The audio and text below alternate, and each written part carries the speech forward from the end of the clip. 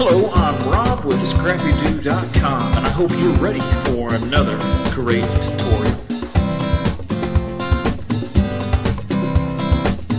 So, alright, in this tutorial we're just going to go over some flourishes, some, some different types of flourishes that you can do. This is just going to be sort of like a little overview of what you can do with the Bezier tool to create your flourishes and sort of giving you more tools in your tool bag in order to uh, create the flourishes you desire.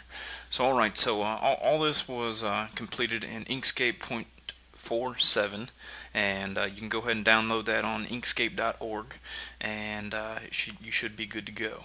So alright, so let's go ahead and uh, get started with this. Um, the first thing I'm going to do here is I'm just going to clear these out so we can start fresh. And we're going to use this tool right here called the Bezier tool.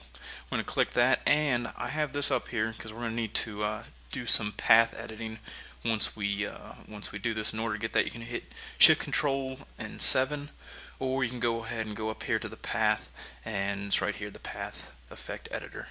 So alright so let's go ahead and start drawing. The first thing that you need to do is uh, you know besides selecting that Bezier tool is make sure that we have the uh, the Spiro path uh, selected and as you notice over here, you have different shapes that you can use. And you have triangle in, triangle out, and ellipse. So let's go ahead and do the ellipse first so you can see what uh, that's going to look like. So uh, with, with, the Bezier tool selected, I'm just going to click.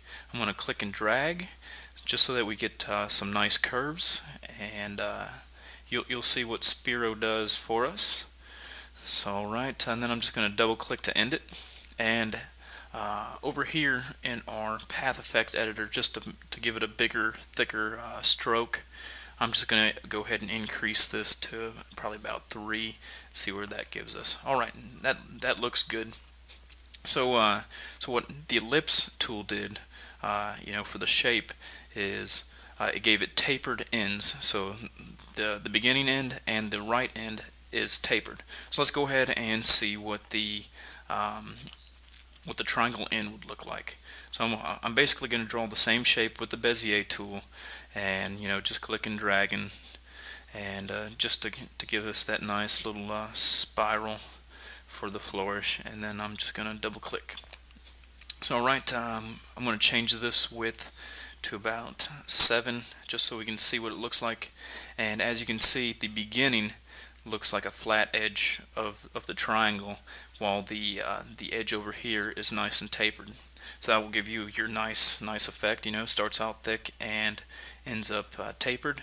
The ellipse is tapered you know beginning and end.